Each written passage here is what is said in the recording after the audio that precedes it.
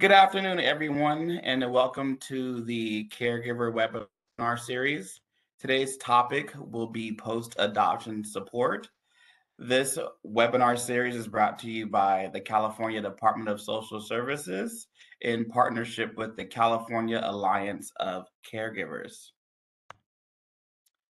Some logistics for this webinar is that this webinar is being recorded and will be available at www.caregivers.org forward slash webinars. If you would like a certificate of attendance, please email your request to info at cacaregivers.org as listed in the chat. Participants will not have the ability to speak, so please submit questions to the Q&A section of the toolbar it is the icon with the three dots that should give you this option. So for our agenda, my name is Tremaine Palmer, and I'm with CDSS in the Foster Caregiver Policy and Support Unit. And we have the caregiver perspective, which is going to be by Jennifer Rexroad. She is the executive director of the California Alliance of Caregivers. And today, for our topic, post adoption support, we will have our speakers, Colin Williams, who will be speaking on the Family Urgent Response System, and he uh, is with CDSS as well, as well as Marta Platt and Olga Gonzalez. They are from the Adoptions Policy Unit at CDSS, and they will be speaking on post adoption support as well. Uh, our last speaker, Whitney Robertson, uh, the director of Think of Us, will also be sharing some information on post adoption support. So I'm going to go ahead and uh, send it off to Jennifer Rexroad for the caregiver perspective. Thank you, Tremaine. California Alliance of Caregivers um, represents the voices of relative and non-relative caregivers to promote the well-being of children in foster care. And we provide advocacy support, and information and resources for foster, adoptive, guardian, and kinship families.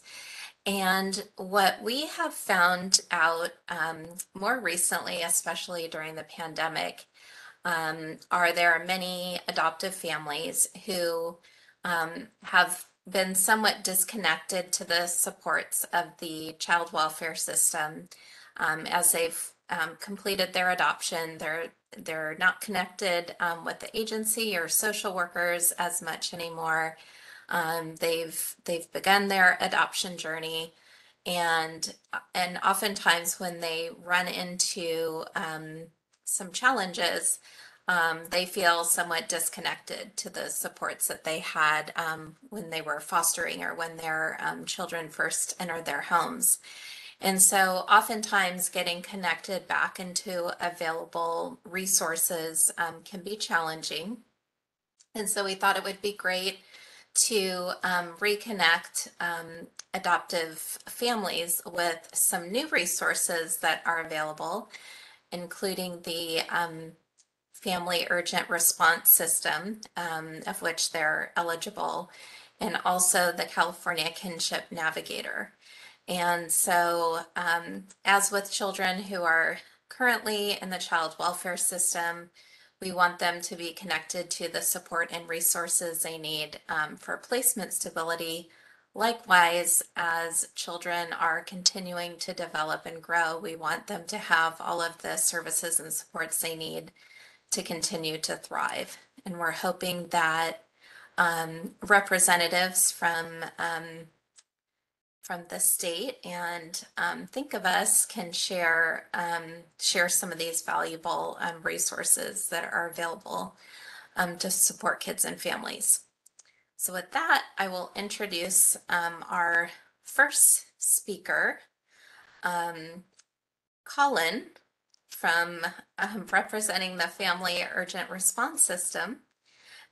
we're so so excited to have been um, part of um, advocating for this program to um, come to fruition several years ago and um, to be a part of the developing program and are just really excited about the potential um, that it that it has um, to support children and families. So Colin, here's the mic. Thank you. Um, as stated, my name is Colin Williams. I'm an analyst with the California Department of Social Services uh, in the Placement Services and Support Unit. Uh, we're the unit responsible for the oversight and implementation for the FERS program. I have A presentation that I will bring up now. Okay. So there's a lot of information to cover, so I'm going to get right into it. Um, some of you may have heard of the Family Urgent Response System, or for short, FERS, uh, but you may not have been aware that it is uh, that children who have exited foster care into adoption are part of the eligible population. So uh, for those of you who are aware, this will be kind of a, a reintroduction of the program. For those of you who aren't familiar with the program, welcome to FERS. Uh, so FERS was created to provide current and former foster youth and their caregivers with immediate trauma-informed support when they need it. Uh, it consists of state and local components, a statewide hotline that's available 24 hours a day, seven days a week, 365 days a year, and they respond to caregiver or youth um, during situations of instability over their hotline. And it also consists of um, corresponding county-based mobile response and stabilization teams that are also available 24-7, 365. And this is in every county to provide in-person support. Uh, the goals for the FERS program are to prevent placement disruptions and preserve relationships between caregivers and children or youth. Uh, it is intended to prevent 911 calls or law enforcement involvement and the needless criminalization of traumatized youth, to prevent hospitalization and placement into congregate care, to promote healing as a family, and mostly to promote uh, stability for youth currently or formerly in foster care, including youth in extended foster care. Um, I worked as a social worker in one of the counties and one of the most disruptive things to a case was when a placement was likely to be lost. Um, finding a new placement for that youth was often difficult.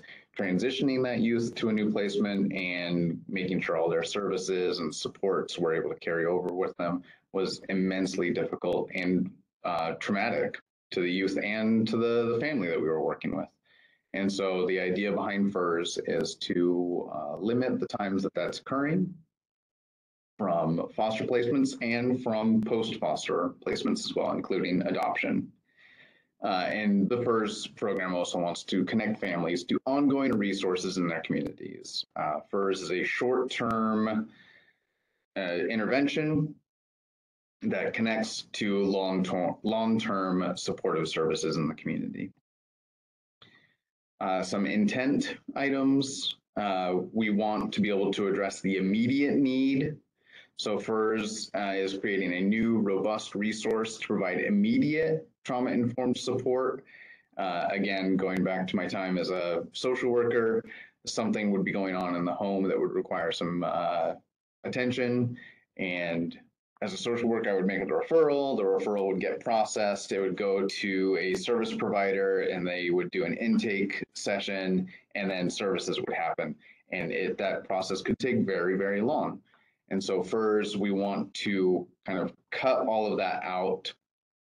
Not to say that that uh, those long-term services aren't important, but to create a situation of immediate attention to uh, an issue before it escalates into a, a greater issue. We want to make sure that the program is user-driven. We put families and children in the driver's seat. Uh, this is a voluntary program, so we don't have anyone calling on behalf of a family saying, hey, this family needs services unless the family has requested someone to help them make that call. Uh, youth and caregivers determine when they require immediate support, not a professional. It's a coordinated service. Uh, it breaks down silos between child serving systems. Uh, we've created a network of communication and cooperation between child welfare agencies, probation agencies, and uh, behavioral health. And the intent of the FERS program is to provide support, provide support for situations of instability that include, but are not limited to, mental health crises. So a big question, who does FERS serve? uh, our definition of current or former foster youth includes uh, a child or youth adjudicated under Welfare and Institutions Code 300, which is child welfare, uh, 601 or 602, which are our probation codes, and who is served by a county child welfare agency or probation department. It includes a child or youth who has exited foster care to reunification, guardianship, emancipation, or adoption. It also includes uh, these youth until they reach age 21. Um, there is a Senate bill that is currently in place, um, kind of coming down the home stretch that will include uh, youth who are in voluntary placement agreements, um, youth who are placed out of home but have not yet received a 300 ruling. Um, I'm not going to spend time on that. Um, and children or youth who are placed in California um, by way of the Interstate Compact Placement of Children. So this is the potential future for FERS. Um, this is a bill that is publicly available and is being considered um, right now. Caregiver is defined broadly for the purposes of FERS to include individuals in a caregiving role. So this is foster parents, this is adoptive parents, this is biological parents who a children who a child has reunified to. These are all eligible populations. FERS is available during situations of instability as defined by the child, youth, or care, caregiver. And so in our outreach, we have made a, a strong point of saying that situations of instability, it doesn't mean that it has to rise to traditional levels of uh, needing intervention. One of our early success stories is about a family conflict where a youth just wouldn't eat their vegetables. Uh, and where normally that wouldn't dictate any sort of therapeutic or behavioral support response, uh, the FERS team was able to provide some intervention in that case um, because we knew that the tension that was developing from that situation could escalate into a situation that could lead to a, a failure of placement. So the FERS team was able to intervene and create some stability in that situation. The CalFERS statewide hotline is operated by Sacramento Children's Home. They are the vendor for that. Um, their number is 1-833-939-3877. And you can reach that number by call or text. Um, they've found that a lot of their youth interactions are through text. Uh, and they are pretty successful at transitioning those into phone calls if there's a need for uh, more intense support.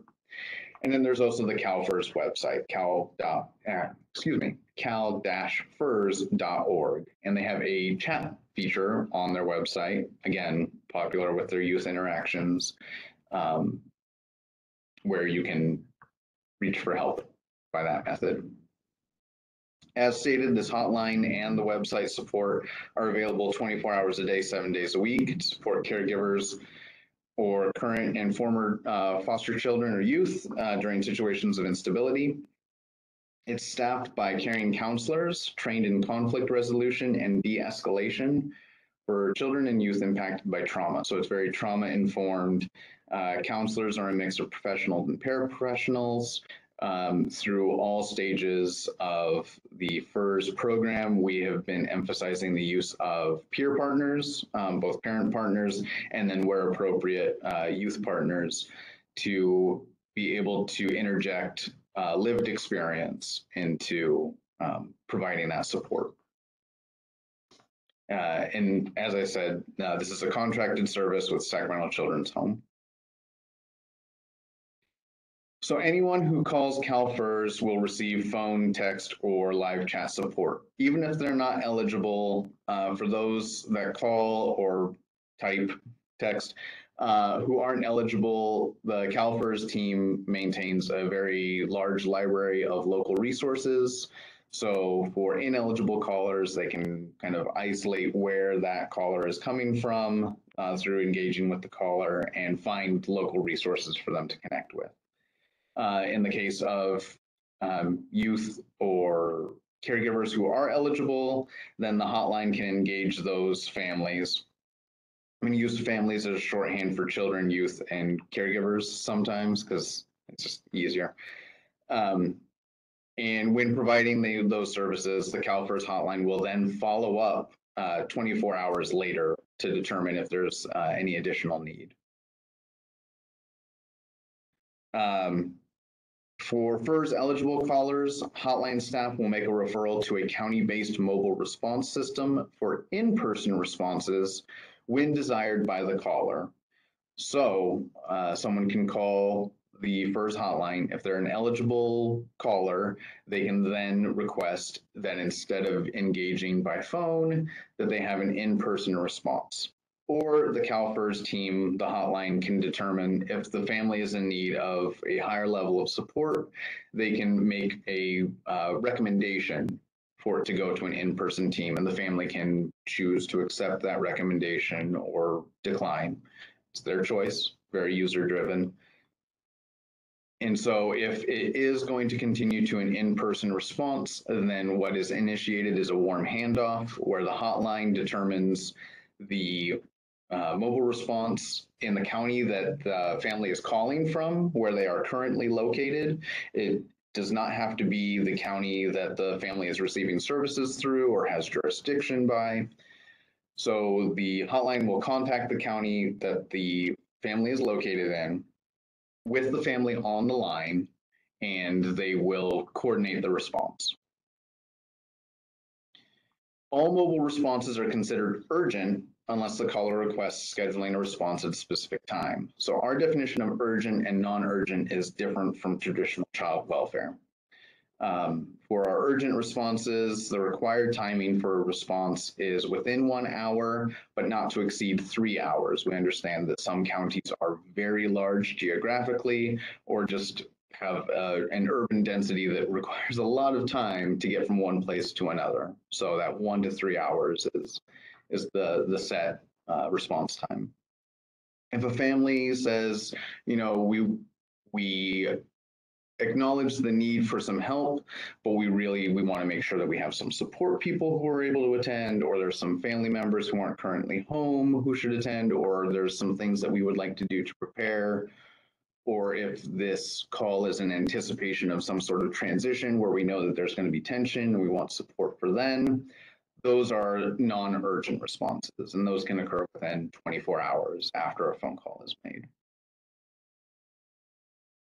Our county mobile response systems are uh, consists of county child welfare, probation, and behavioral health agencies.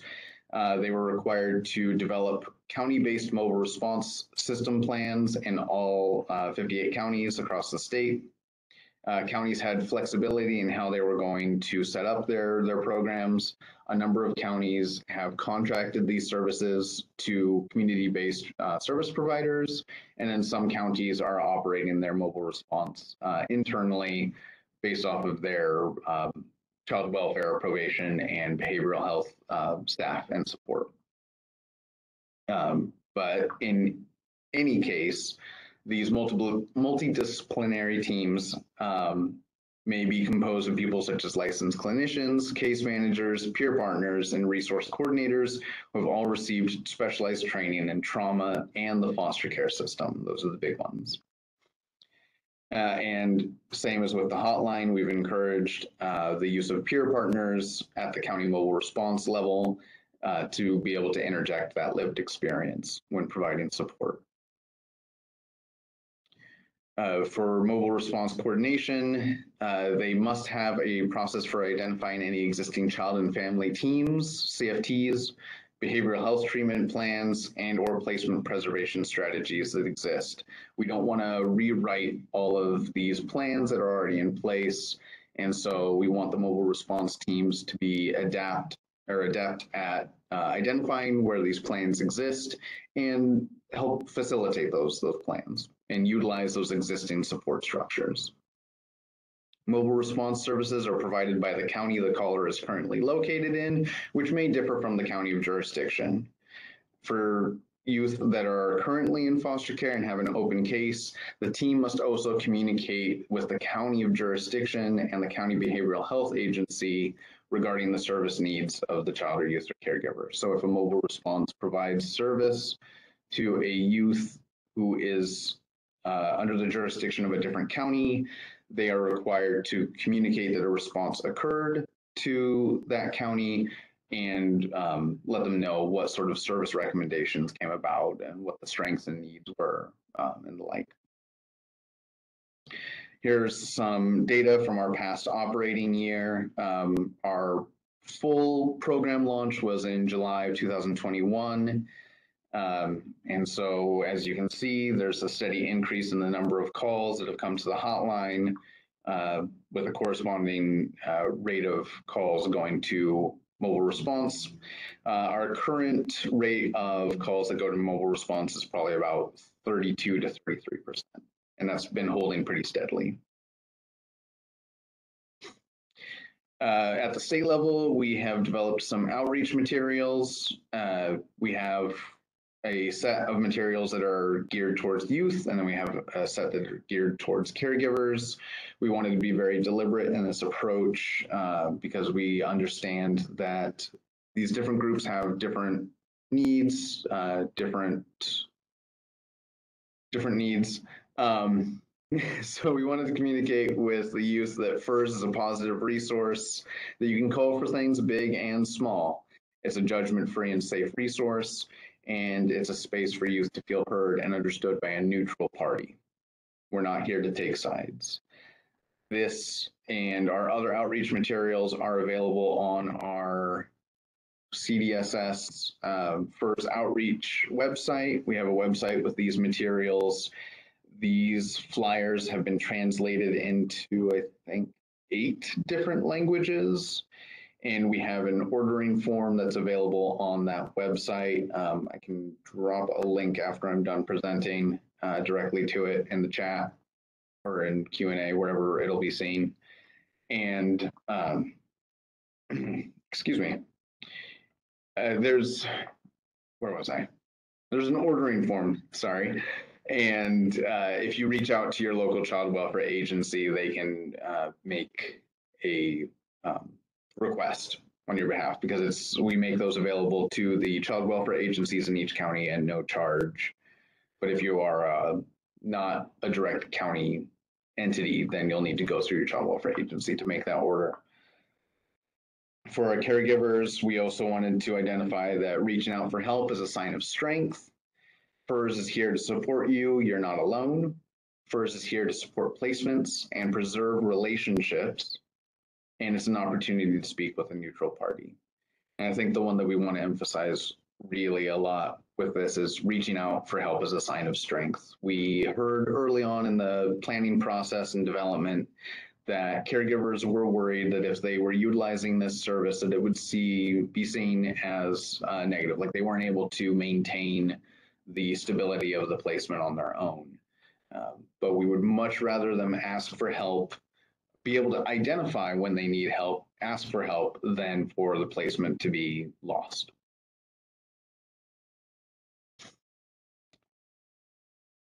All right, got through. There's questions and answers, and I'm going to put up the resource page in the meantime so that people can see that.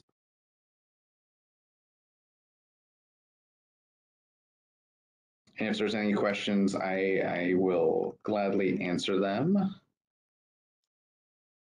Participants can put their questions in the Q&A section and we're also watching the chat, but it's it's best if you um, can find the Q&A section and um, and type your question in there.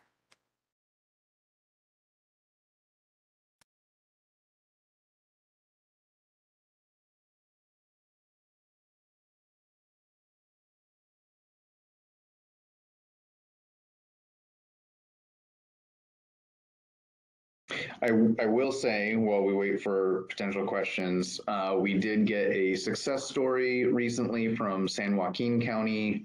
There was a youth who is in, in an adoptive placement uh, she had ran away due to some due to some tensions with her caregiver.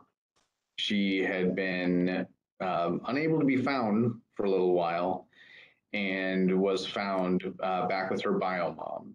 Uh, she had some pretty significant health needs, um, or excuse me, not health needs, hygiene needs that needed to be addressed. Um, with the help of the FERS team, they were able to uh, come up with a plan for her to transition back into her adoptive home. And then also, as kind of a, a hand holding to that, to help her be set up with some uh, behavioral support that she was in need of. Um, so then she was signed up for therapeutic behavior services um, and then some other mental health supports that um, the family wasn't quite aware of, of what she was needing. And so the adoptive parents also received some, some caregiver education as part of the FERS intervention. Um, and then the youth had messaged the FERS team a few days later, uh, just really thanking them for their support. She she hadn't felt supported prior to that, and she had difficulty expressing her needs. And the FERS team was able to step in and, and support the family as a as a unit in uh, attending to what she was needing.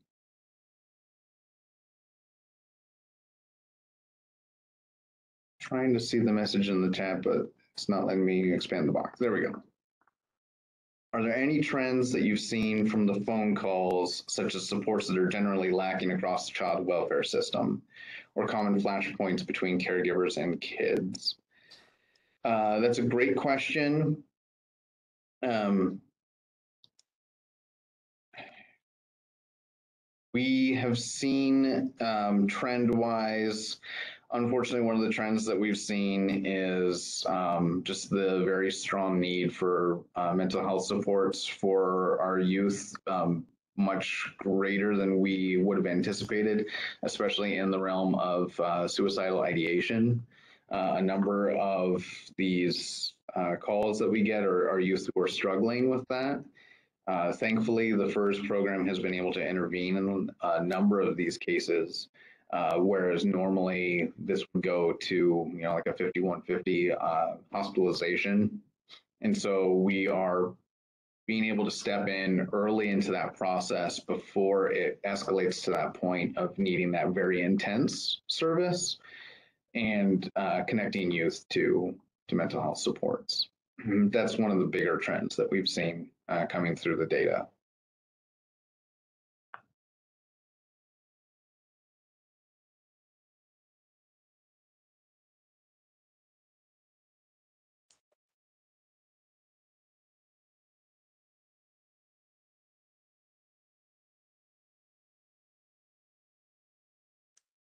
Thank you, Colin. This is, I love, I love the stories that you share and I'm really, really excited to hear about um, those families receiving that support. Thank you for giving me the opportunity to uh, present to this group. Um, we, you know, we're a year into this program and we are trying to do whatever we can to get the word out. Um, we, we find that we have like our higher level resources, but the best way that we can get that information out is to get the information to people who are in the counties doing the work. And so we we implore you to let people know about this resource, uh, kind of shout it from the rooftops, uh, let them know that this is a program that's available for um, for adoptive youth, for uh, caregivers who are uh, providing an adoptive home. Um, if a if a youth has spent any time in foster care, they are eligible for the most part uh, for this service, and it will follow them uh, out of foster care and up until the age of 21.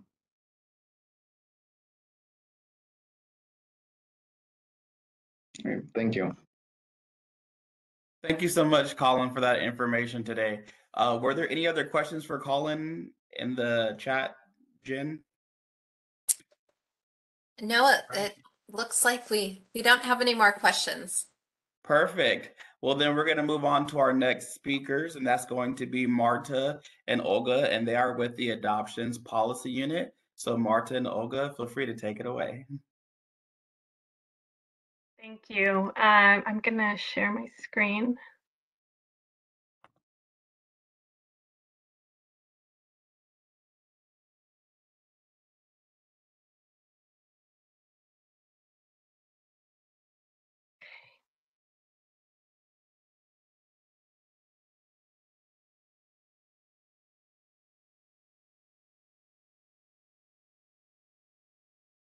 Um, so hello everyone, my name is Olga Gonzalez and I'm an analyst with the Adoption Services branch and uh, Marta Platt is going to be presenting with me today. We're going to be talking about post-adoption services. Um, so um, we're going to be talking about supportive services for adoptive families, including the Adoption Assistance Program. And um, in our branch, we also consider post-adoption services the facilitation of contact between parties of an adoption and release of adoption information. So I'm actually going to start talking about um, that second bullet first, facilitation of contact between parties and release of adoption um, records and information. Um, I'm going to go really briefly through it because um, this, these services are usually requested down the road when an adult is, I'm sorry, an adoptee is an adult and wants to connect with their birth family. Um, and so it may not pertain to the families, um, you know, that have just adopted or are planning to adopt. But I think it's still good information to have or keep in mind um, so we have some mutual registry programs. We have two forms. Um, one is the consent to arrange contact form.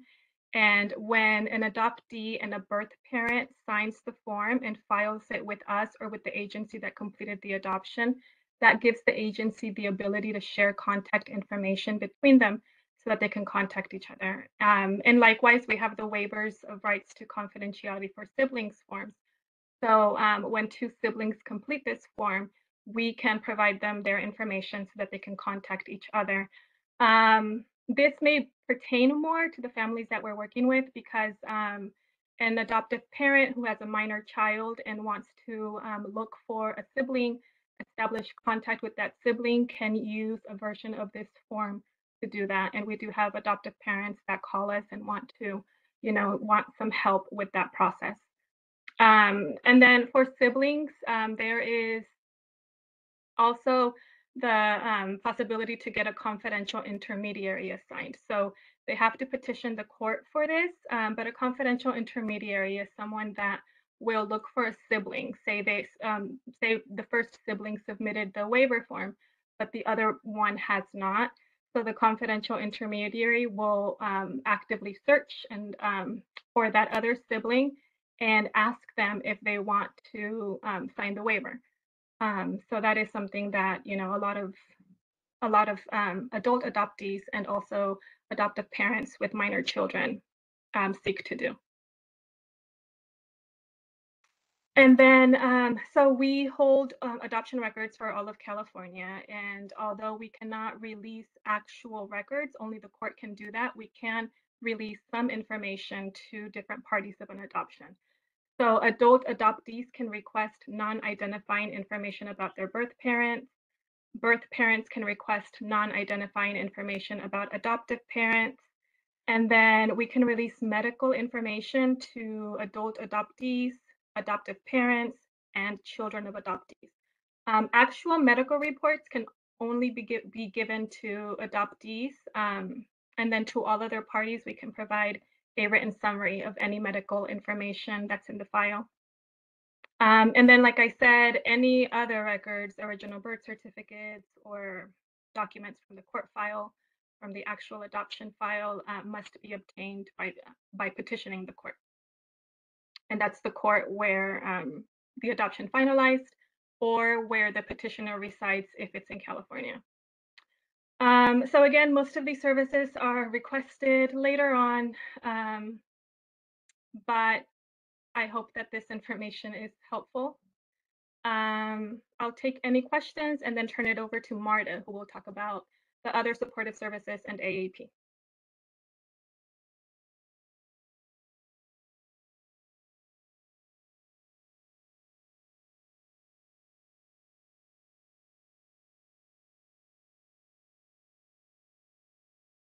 I'm not able to see if there are any questions. Can someone let me know if there's any in the chat or the Q&A?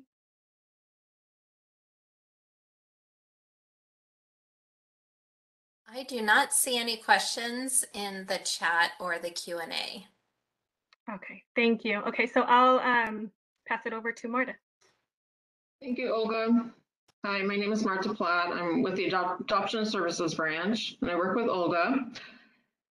And um, so for post-adoption services, all post-adoption services funding was realigned to the counties in 2011. So the scope of services provided varies from county to county. Um, availability of services depends on the county the child was dependent of prior to the adoption finalization. I have been hearing recently that a few counties across the state have started to contract with private agencies, and it might actually be related to FERS, but also I think the the counties are also contracting with the private agencies to provide post-adoption services as well. So I don't think I can change the slide. Olga? I'll change it. Thank you. So if the child was a dependent of one of the following county services, po- post-adoption services by, are provided by the department through a private agency contractor. So children who were adopted from Madera, Mariposa, Mono, and San Benito, the private contractor is Aspiranet. So the parents would not, need, to- would need to contact that agency to obtain post-adoption services if they've if their child was a dependent of the, one of those counties. The other contractor is Wayfinder Family Services. They serve Amador, Calaveras, Colusa, Del Norte, Glenn, Lake, Lassen, Mendocino, Modoc, Napa, Siskiyou, Sierra, Sutter, Trinity, Yolo, and Yuba. So Wayfam- Family, Wayfinder Family Services provides post-adoption services for those children adopted from those counties. Um, The services provided are crisis intervention and therapeutic in nature, information listings for local therapists and referral services. I know that Wayfinder has been very, um, very much an advocate in trying to obtain, uh, in providing adoption competent um, trainings for therapists within all the local, local counties, um, counties throughout the state, actually. So um, adoption competent therapists, I think that pop, that niche is starting to increase um, and become more readi- readily available to families. Um, other services include children's support groups, parent training and support groups, family community activities and events, um, respite devel- development, peer support networks, informational newsletters, um, in addition to those services, there is limited financial sponsorships for family supports and extraordinary needs. There's also limited financial sponsorship, sponsorship and provision for family and child enrichment activities. So, and the other thing to keep in mind with the Aspiranet and Wayfinder Family Services, they do provide post-adoption service to, services to other counties throughout the state. Um, you would need to contact those agencies to um, find out which counties those are. But I know that they have contracts outside of um, CDSS that they do provide post-adoption services. So. Next, okay. So we're moving on to AAP, the Adoption Assistance Program. AAP is simply a funding source. Um, it's a financial, it provides financial and medical assistance for um, primarily for children who have been in the foster care system, and it helps with uh, the adoption process and maintaining the adoption home. So part of the benefits of um, AAP is that there's a monthly negotiated ra- rate, medical coverage, Medi-Cal here in California, if they move out of state, would be typically is Medicaid, um, payment for eligible out-of-home placements, which would be a 24-hour therapeutic residential treatment program payment for eligible wraparound services. Um, AAP may continue regardless of the adopted family state or country of residence. If the family does move out of the country, um, they will need to obtain their own medical coverage because Medi-Cal and Medicaid is specific to US, to the US, but um, they, they can certainly continue to receive that monthly negotiated rate. And then if eligible, AAP benefits may continue to the age of 21. Um, So a few things to keep in mind with AAP. The intent of AAP benefits is to assist adoptive parents with their child's lifelong needs. Adoptive parents are responsible for any extra costs that exceed the negotiated AAP rate. Um, there is a limit to AAP benefits. The negotiated AAP ben- benefit is based on the child's care and supervision needs and the circumstances of the family. And then the AAP benefit does not include payment for any specific goods or services or expenses over and above the costs associated with the child's care and supervision needs. Goods and services would include costs related to, but not limited to like travel, childcare, clothing, shoes, toiletries, therapy, therapy, um, medication, respite care, food, specialized medical equipment, and or services and educational costs such as private school, admission or tutoring. Um,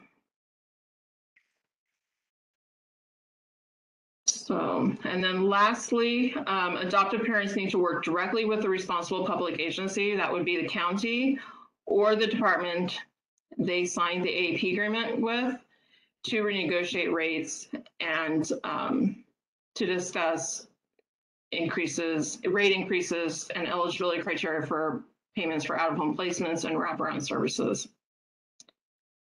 So I believe that is it for my, um, yes.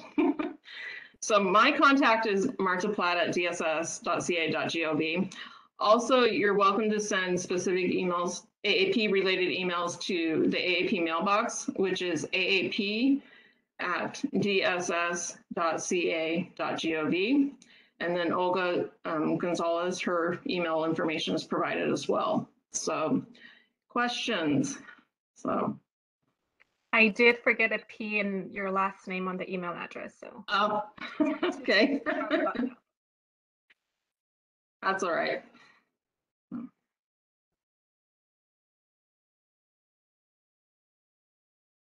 Were there any questions in the chat or the Q and A section for uh, Marta and Olga, Jen? I don't see any, but one question that we also, or we often um, receive is when adoptive parents don't know who their uh, their adoption social worker is or the the AAP contact. And so, what would you recommend to them? How can they um, how can they get in touch with their adoption social worker, their post adoption social worker? Okay, so typically counties will not assign um, AAP cases to a specific worker. Um, generally, it's best if parents can contact con- contact the county or the department and ask to speak with post-adoption services. And that will, they'll um, then probably talk to the worker of the day and who will help, um, who will take their call and then refer them to the appropriate contact within the county. Um, they're also welcome to send an email to um, our AAP mailbox and we can help. You know, if they just provide the name of the county who sends them and checks, then we can um, provide them the appropriate contact information as well. Okay. Is the AAP mailbox AAP at dss.ca.gov or is it? one of- Correct. Yeah. Okay, perfect. Thank you. Yeah, I'll, I'll type it in right now. Okay. So,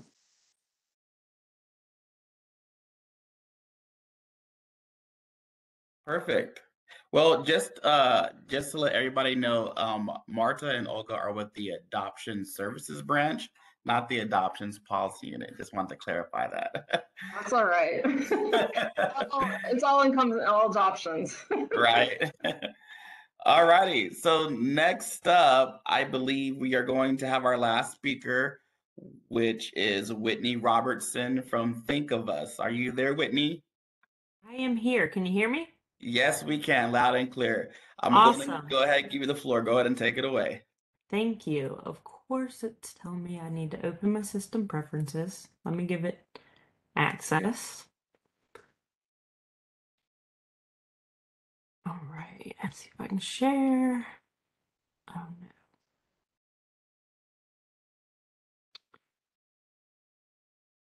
I am so sorry.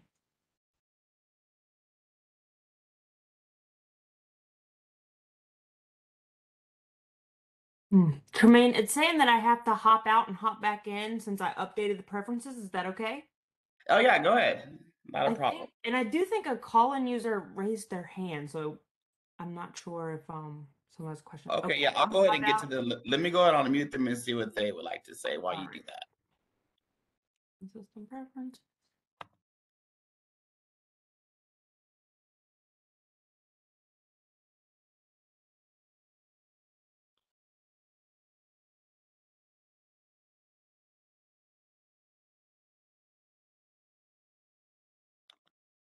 See if they.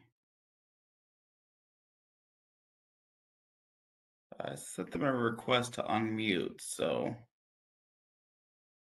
I'm not sure if they're going to receive it as a call-in user how that even works.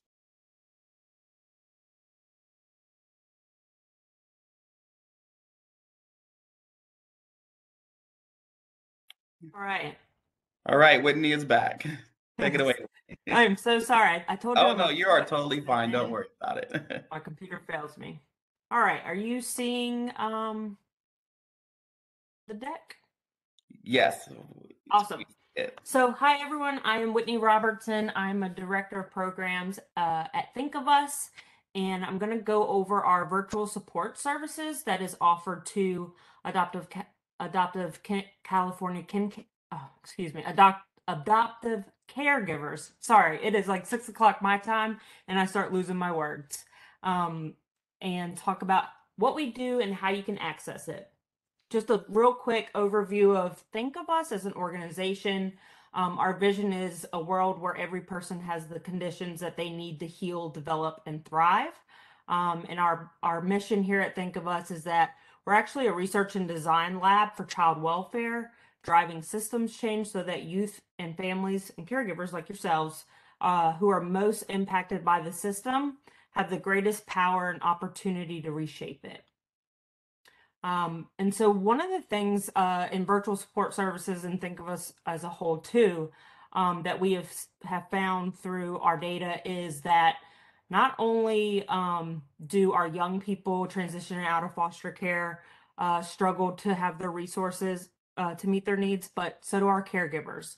Um, and we've seen it across all populations that we serve, including kinship caregivers and adoptive caregivers, that the top needs are basic needs um, and accessing those can be very complex, uh, sometimes defeating, uh, and requiring a lot of manual navigation on the caregiver or young person's part.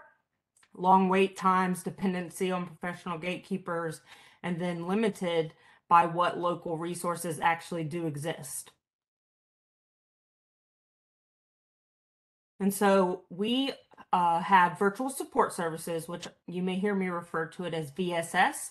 Um, it's a resource navigation model that we where we use tech-enabled strategies to give both young people and caregivers direct access to resources and create a clearer pathway to meet basic needs.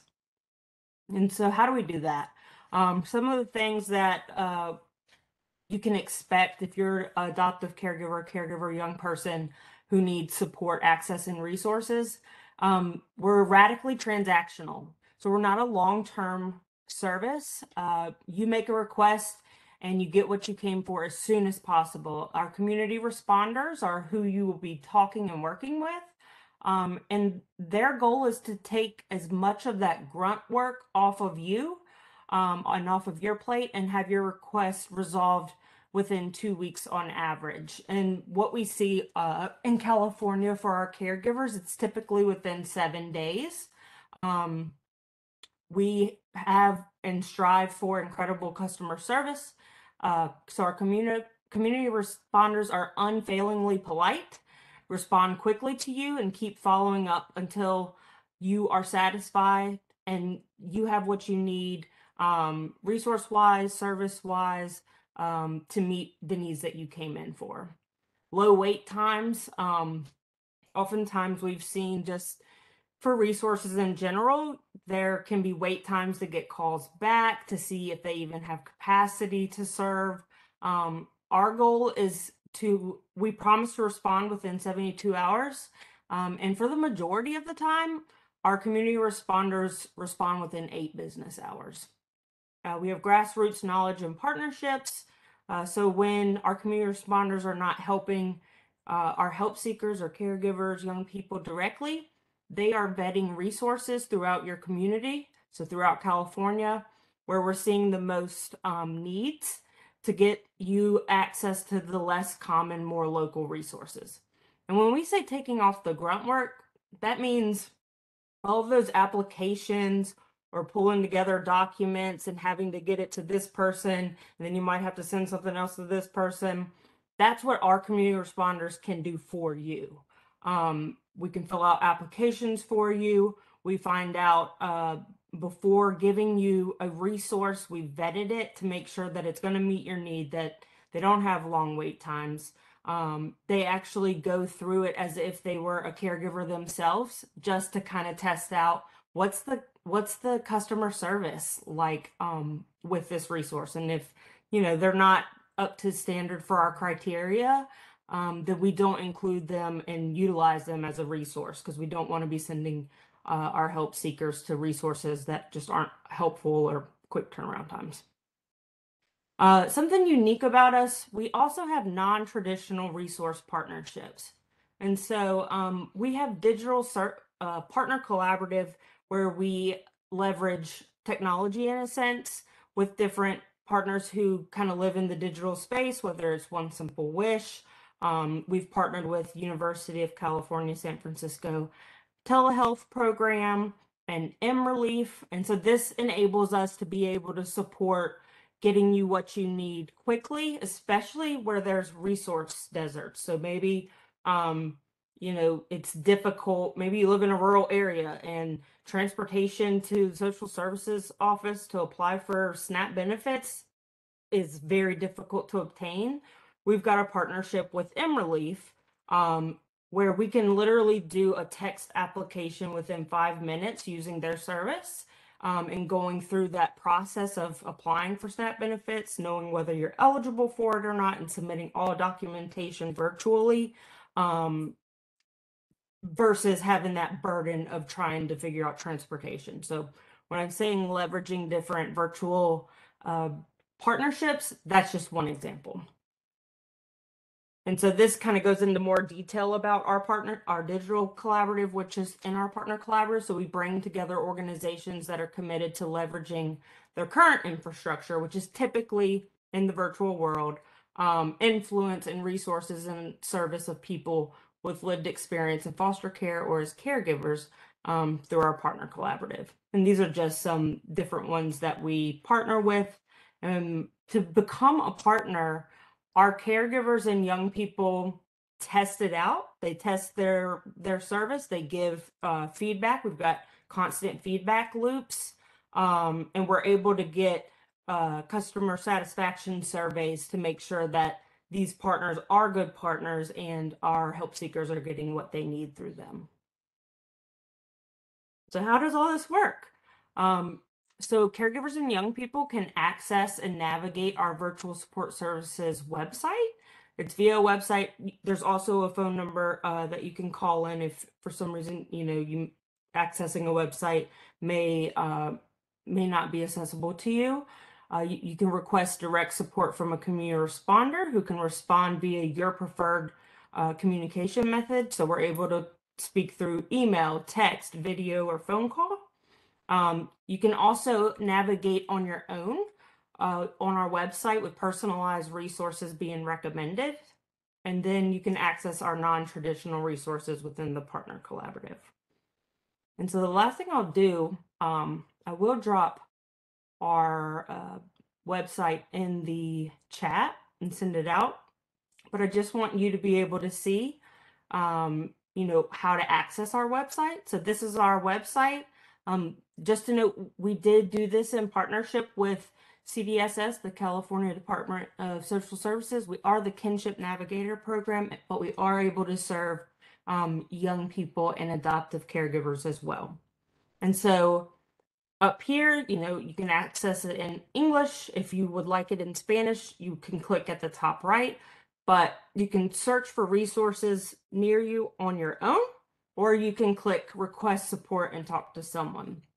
And I'll just show you real quick a demo if I were to search for resources on my own. So you're going to choose your profile, adopted parent. Let's say I live in 90017 zip code and I'm looking for food.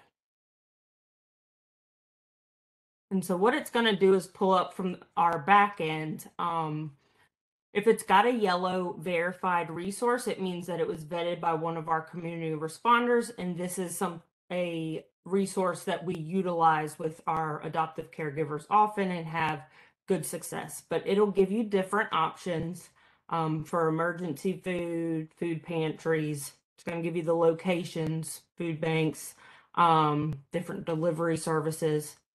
But let's say that you know you don't really want to do this. Let's let the community responder take that off your hands. Um, you can click request support. And then again, you get to choose whatever's best for you. If you want to talk by a phone call, email, or text, um, let's say we want to call with a personal assistant. If you'd like to just call versus using the website, this is the number that's going to get you directly in touch with a community responder. Um, but if you'd like to schedule one, I'll just show you real quick the process and what to expect to uh, information to provide.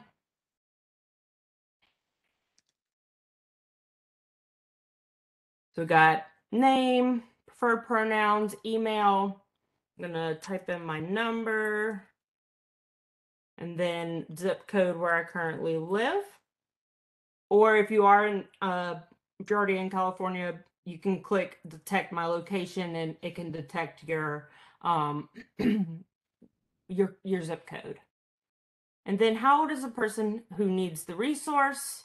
Um, this could be you as a caregiver. It could be one of your young people that um, you're trying to connect a resource to, such as like mental health support, um, school support, anything like that. So let's just say I'm 33. I'm an adoptive parent. And then choose up to three things that you might need assistance with. Um, so let's say I need some clothing supplies and food. And then it's going to ask you to rate for your clothing supplies what how uh, how concerned are you about this need? So let's say for clothing and supplies i need some help but for food i need lots of help. And then anything else we should know um, that's optional. But once you fill this short form out you submit a book and call um, excuse me submit and book a call um, with a community responder or submit and call now. Um, and so all of this will go to our community responder team, and then they will reach out to you by phone call directly, um, typically, again, like within eight business hours. I am going to stop sharing so I can see everyone. But are there any questions?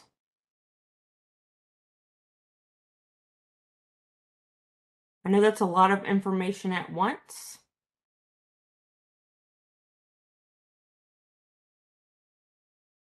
I can also drop my email in the chat and then our website. And Tremaine, I'll be able to send this information to all attendees or to you to, who can provide this information to our attendees today. Yes, you can definitely send it to me.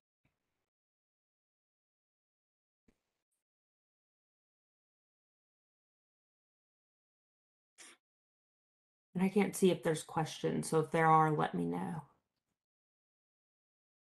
Jen, do you happen to see any questions out there for Whitney? I do not see any questions. Okay.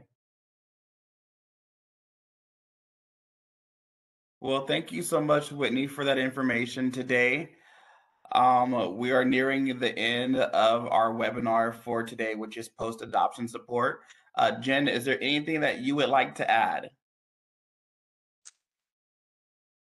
I would just like to add that I'm, I hope that adoptive families will um, reach out to these um, partners and programs and, um, and ask for help. Um, and uh, we know that this, the past few years have been particularly hard on families. And a lot of our youth are needing um, extra support at this time, especially in school and with behavioral health services. Uh, a lot of the count, a lot of programs are based in in uh, counties, so calling the county um, 24 hour um, mental health um, service access line is is always an option. Um, and um, we we encourage families to advocate for themselves and their youth and keep asking until they get the services and support that they need. So I'm I'm encouraging everyone to reach out to one of these partners um, and to continue um, reaching out and asking questions until um, the needs of your youth and family are met. And thank you to all of the speakers who've have brought this information together for families. I think it's really helpful.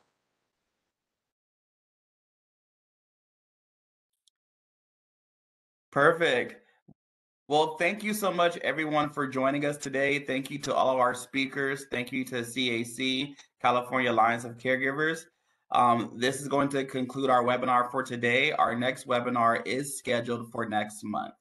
Again, um, thank you to everyone for your information today, and everybody have a great day. Thanks, everyone. Bye.